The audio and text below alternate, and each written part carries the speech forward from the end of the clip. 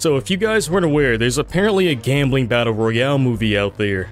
A bunch of broke dudes get together to play Uno or something and other dangerous games so that they could win the big jackpot. So basically, this is Squid Game before Squid Game, which is fine with me because I was starting to get withdrawal symptoms waiting for season 2. Oh yeah? What kind of symptoms? My body gets all twisted. I do handstands. It's not pretty. So I was browsing the interweb one lonely night and managed to catch wind of this movie titled Kaiji, The Ultimate Gambler. I thought, hey, that'd be a good late night watch to unwind after surviving the horrors of having a full-time work schedule and engaging in public society. We live in a society. I took one look at the box art for this movie and, well, you see what I see. It's a freaking Yu-Gi-Oh card. This dude is holding my very childhood in his hands right now, so how could I not watch this movie? Then I realized it wasn't actually a Yu-Gi-Oh card, it was actually some sort of bootleg Lord of the Rings card with Smeagol on the front cover. So now I don't even know who the target audience for this movie is. I mean, nobody watches Lord of the Rings except for no-lifers who wear plastic rim glasses. You know, the exact opposite of me. The lead actor, Tatsuya Fujiwara, F Fujiwara, Fujiwara, pin his name on the screen. This actor is pretty familiar to me. When he's not doing one of his 50,000 stage plays, then he's starring as a mass murderer in the Death Note movies, or guest appearing as a baby daddy in the Yakuza games. So this guy can seemingly cross the media multiverse at will. Eat your heart out, Doctor Strange. So hey, card games and Tatsuya. How can you go wrong with this movie? Well, it actually turns out you can go plenty wrong with this movie. I mean, you only need to take one look at the director, Toya Sato's previous work, to see just how insane he is. Feast your eyes, he directed Gatchaman, the fake-ass Power Ranger. Oh god, I knew I should have grabbed some apple pie moonshine before starting this video. I read about this movie's plot from AsianWiki.com because they seem pretty credible, you know, with this being an Asian movie and all. It says, Kaiji Ito moves to Japan after graduating from high school. Unable to find a job and frustrated with society at large, Kaiji spends his days gambling, vandalizing cars, and drinking booze. Alright, it looks like we're starting this one off the right way with a perfect role model of a main character. Two years later, and his life is no better. A debt collector named Endo arrives to collect money, then offers two choices to Kaiji. Spend 10 years paying off your loan, or board a gambling boat for one night to repay your debt, and possibly make a whole lot more. Okay, yeah, I'm starting to see the parallels between this and Squid Game now. Because you remember that the homeboy in that show got slapped up by the game recruiter before making the choice to enter the contest. God damn! So, I think that's enough about spoiling too much. Let me walk you through this marvelous specimen of absolute ridiculousness. The movie starts with what I would assume to be Elon Musk's first Twitter executive meeting. They discuss what true power is, and the chick who actually says money gets hit with a whammy. You see, the real answer was using money to build a fallout shelter. Y using money to build a fallout shelter.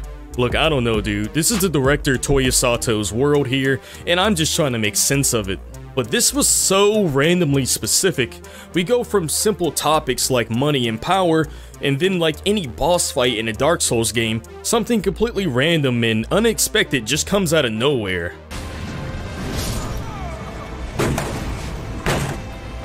I mean, a fallout shelter? Really? Like, do these dudes actually own a Fallout-style nuclear bomb and plan to detonate that freaking thing or what? Or are we just speculating here? I mean, don't tease me if you don't have the real thing. So we finally meet the homeboy Kaiji, and he is in fact gambling. It's almost like the title prepared us for this moment. He has terrible luck with gambling, gets called creepy by girls, and throws absolute temper tantrums. I'm pretty sure that the toddlers from Rugrats are more composed than this fully grown man. I mean, dude was legit staring down a chick with her man right there, but Kaiji wants to get mad when people call him out for it. Wait, the description says that he can't find a job. What is this? I know working at a convenience store is pretty minimum wage, but it's still a job for goodness sake. Anyway, Kaiji fumes about the whole getting called a creep thing and starts kicking people's cars and screaming to himself. You know, all reasonable things a rational human being would do. That is until the Karma Police show up and tell Kaiji that he has to pay them back all the debt that he got himself into. You see, apparently Kaiji got into bed with a bunch of loan sharks and co-signed the loan with some other person that they never name. Or rather, I can't read Japanese kanji, so I can't even tell if the other person's name is on the contract or not. I mean, hell, this could be a Chuck E. Cheese brochure for all I know. But anyway, the guy disappeared and now it's up to Kaiji to pay back all the borrowed money, plus interest. And trust that these dudes added in the fee for him kicking their car in. Like, who even kicks a car without checking to see if anyone is inside first? Wait, who even kicks random cars in a parking lot in the first place? I can't believe I'm normalizing this. So the loan sharks tell Kaiji that there's a gambling game going on in this boat. If he wins, he'll get more than enough money to pay them back. Easy. Because you know, the best people to listen to for financial advice are the people you already owe an extreme amount of money to. I can already see how this dude Kaiji got into the situation he's in now. He's the most gullible, unstable, unluckiest, stubborn... One hour later. Irresponsible, borderline schizophrenic... Hey, here we are, we're at the gambling boat, and Kaiji is surrounded by other poor, unfortunate fools like him. No, I mean poor literally. These dudes look like they came straight off the homeless assembly line. And Jesus Christ, what the hell is that? Is that Weevil? Does wearing plastic rimmed glasses really make a dude look like that? Nah, I think I wear to fit way better than he does. W what's that? You guys think that I look like the guy from the Chocolate Rain video? Chocolate Rain. The event begins, and it's a card game. The rules go as follows. H hold up, let me get my Yu-Gi-Oh voice together. Contestants get a couple game cards and golden stars to pin on their chest like it's kindergarten. Every card is a mysterious hand sign, like a pair of scissors, paper, rock, and each has a weakness- Wait a damn minute, this is rock, paper, scissors. Anyway, you know the rules.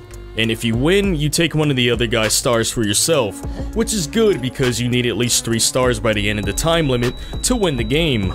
You lose all your stars, and you get sent to the Shadow Realm. Kiwaman is screaming. So the contestants get to battling and ripping off stars. I mean, these guys are mad disrespectful with it too. Some dude named Funai comes up to Kaiji with some elaborate scheme to cheat the system. Funai says that they should coordinate their cards so that they can keep hitting draws. Like, hey, I'll play rock and you play rock. I'll play paper and you play paper, so on and so forth until they run out of cards, so they can finish the game and still keep all their stars. I mean, it's not a bad plan and there's apparently no real rule against cheating anyway. But that won't stop people from giving them the stink eye. And since we're talking about faces, they got my boy Kaiji making the surprised Pikachu face when he realizes that Funai was playing him from the very beginning. Dude got Kaiji into a rhythm like he was salsa dancing, and then played the opposite card like his name was General Ackbar. It's a trap! So now Funai has got two of Kaiji's stars. My man got demoted from a 3-star general to a single star private. Now, a normal person would have taken the L and walked away. Fool me once, fool me twice. But this is Kaiji we're talking about here. Okay, this is the guy who was kicking cars out there in the parking lot like 10 minutes ago. This man kicked everybody's car except for the car of the chick who actually called him a creep in the first place. Alright, Kaiji is not a normal person. So he goes full God of War mode on Funai, drawing first blood like his name is Rambo. A speck of blood lands on Kaiji's last card, and Funai notices this. And Kaiji notices Funai noticing the blood on the card. And I notice Kaiji noticing Funai noticing the blood on the card. Kind of a notice inception going on here, huh? I don't know when this movie turned into the next season of Dexter, but here we are, in Toya Sato land. Okay, you're liable to have your brain slip out of your ears trying to rationalize half the things going on in this movie. Remember, this man directed Crazy Ass Gatchaman. actually, hold up, this movie kinda looks fire. I don't know if that's my dwindling sanity speaking or what, but Anyway, what Kaiji does next is trade cards with another poor unfortunate soul, plants blood onto his new card, and wants to smoke in a rematch with Funai. And again, Funai knows Kaiji's last card has blood on it, and assumes that it's the same as that card as when they were coordinating draws together. Funai puts all his stars on the line because he knows he's got this one in the bag. Or at least he thinks he does. Remember, Kaiji swapped his card with another homie, so they battle it out, and this time it's Funai with the surprise Pikachu face as all his stars are taken from him. Kiwaman is screaming.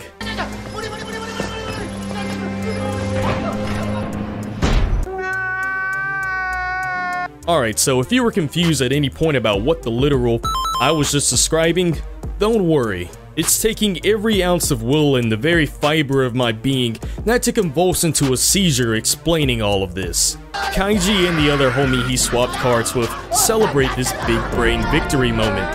And just when they thought they hit home base, the other homie realizes that he had one card left. In his handkerchief. What? Why is his last card in his hand- You know, I'm done questioning things in this movie. Commence ominous screaming. Well hey, sucks for him, right? But Kaiji is indeed home free, so he most definitely collects his money, clears his debt, and this absolutely marks the end of the movie, right? Kaiji actually forfeits all of his winnings and joins the losers in the Shadow Realm as you call it. What? Yes, Kaiji felt sorry for the other guy and would have felt guilty if he left him. The complete stranger he didn't even know existed until 5 minutes ago? That's correct, sir. I'm done, no. I'm done. I don't even know what the hell y'all got me watching. This isn't Kaiji the Ultimate Gambler. This is Kaiji the Ultimate Dumbass. Alright? I'm not coming back. Sir, if you leave, then you'll have to write a whole new script and start all over again.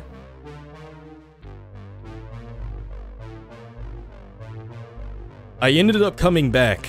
I took some much needed time to reflect on things and found that I should finish this video before I end up in a straitjacket. So, where were we? the ultimate dumbass loses on purpose for a complete stranger, right? Yeah, yeah, this is where we were. They brand Kaiji on his shoulder. I guess that's what all the ominous screaming from before was all about. And force him to work in the Underground Railroad for a while to pay up his debt.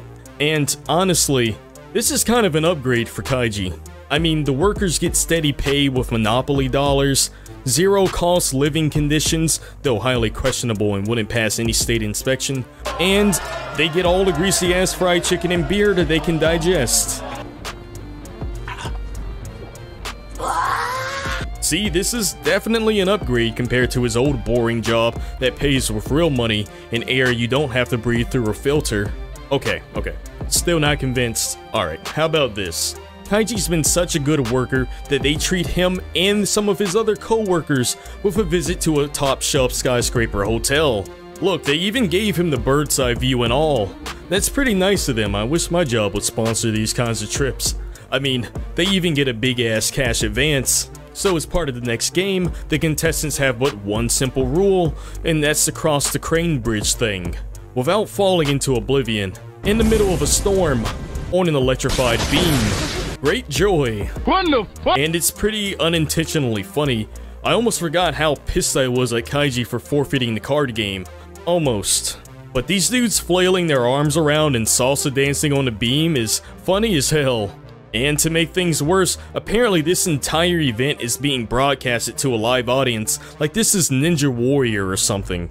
Because, you know, rich people never have anything better to do than watch people struggle for their lives while they eat expensive food and drink alcohol. I mean, I can barely stomach watching Animal Planet when I'm so much as downing a bowl of cereal. But look at the Rockefellers here with the iron stomachs. One by one, the contestants fall until there are three left. Kaiji, other homie he swapped cards with before, and the third will that they met in the underground. Other homie apparently has like a cramp or something in his leg and can't go on. He tells Kaiji that he has a daughter back at home and wants Kaiji to take his cash ticket to give to her. I don't see why though, it's not like he's gonna fall or anything. Uh, oh, he fell. Commence ominous screaming. Check it out. Everybody told me I should grab the microphone and cut. Kaiji and Third Will make it to the end, but Kaiji's spider senses start to go off, prompting him to tell the Third Will not to open the window to the next building.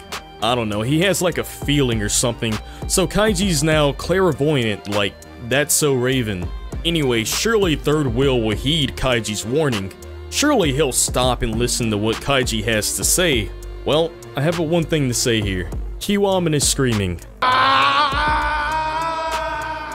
Yo, that's the scream from the MTV dub of Volcano High.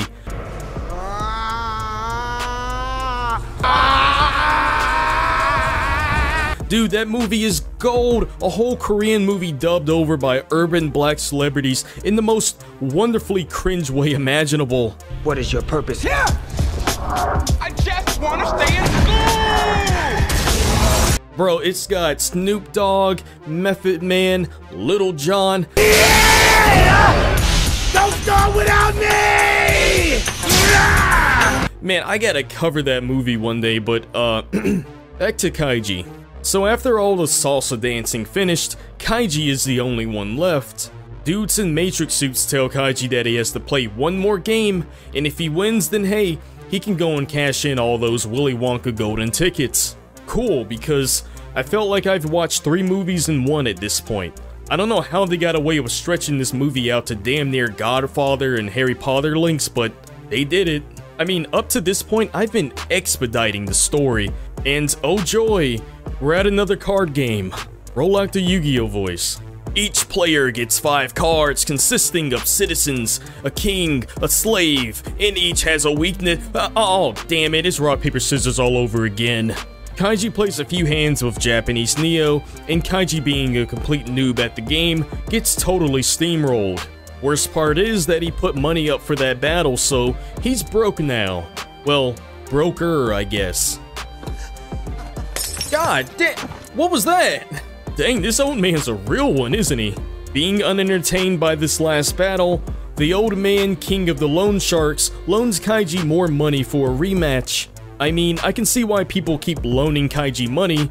He definitely comes across as an economic and financial guru that is the utmost pillar of responsibility. Anyway, he loses the rematch. Surprise, surprise. But I think he also lost a few years off his lifespan too because Japanese Agent Smith treats him to a front row view of his seductively moist tongue. I, I totally could have gone the rest of my life without seeing that. I mean, I was fine not even knowing that this guy had a tongue. But there's something odd about him. I mean, aside from the whole tongue thing, he never even looks at Kaiji the whole time they're playing. He just looks down. At his watch? Why his watch? Very sus. Kaiji's taken to the back, about to be shipped off to the underground to work off his record-breaking debt. I mean, wasn't this guy looking for work according to the description anyway? I mean, just because it's back-breaking manual labor that pays pennies doesn't mean that it's not a job, for goodness sake. At the last second, the chick who suggested to him to even start this ridiculously insane gambling journey in the first place agrees to yet again throw more money at Kaiji. You know, I understand that Kaiji is crazy enough to keep accepting loans from people, but at some point, it's gotta be apparent to the loaners that he has absolutely no way to pay any of this money back to them. Suspecting that Japan's knockoff Reservoir Dog is cheating and monitoring him from the brand they put on his shoulder? Yeah, you heard that right. Somehow, his shoulder brand is able to detect Kaiji's heart rate. Yada yada, microchips, yada yada. At this point, I feel confident enough to just explain away all the crazy stuff that happens in this movie just by saying Toya Sato. With his newly loaned money, Kaiji rematches Japanese James Bond. Kaiji completely goes off the rocker, popping his head against glass to throw his heart rate off so he can't be monitored. Uh, uh yeah, Toya Sato. This draws blood. Blood lands on the cards. Japanese Will Smith at the Oscars notices said blood, and Kaiji notices Japanese John Wick noticing said blood. Deja vu.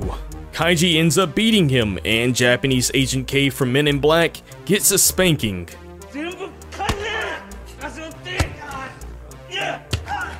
Like, literally, a full-grown adult male gets a spanking. Yes, that's another Toya Sato for you. I don't know, somehow this is even more disturbing than the whole tongue thing, honestly. But hey, Kaiji's loaded with the dollar signs now. I mean yen. That's Japanese currency, right? Finally, all the ridiculousness and insanity I had to suffer through has at least been for something. Hey, I gotta admit that I'm pretty happy for Kaiji right now. I mean, he's usually stupid, but maybe I've been too harsh on Kaiji. You know, I thought for sure that trusting that loan shark would have come back to bite him in the butt, but things seem to be going pretty good for him right now. Well, oops, spoke too soon. Don't you just hate it when the loan shark who conned you into debt in the first place backstabs you when you trust her by spiking your beer with sleeping pills? That's the worst. She steals damn near all of his money. And with what little money that Kaiji has left, he gives to the card swapper's daughter. And Kaiji ends this movie just as broke as he was when he started the movie. Dramatic walkaway. Credits. Wow. Uh, hey, apart from the very fabric of my mental stability being in the red zone right now, I kinda enjoyed this movie. Anyway, I'll get to working on some more crazy ass movies for you guys, and I hope you enjoyed this one. I'll catch you next time. This is that guy. Laugh and subscribe.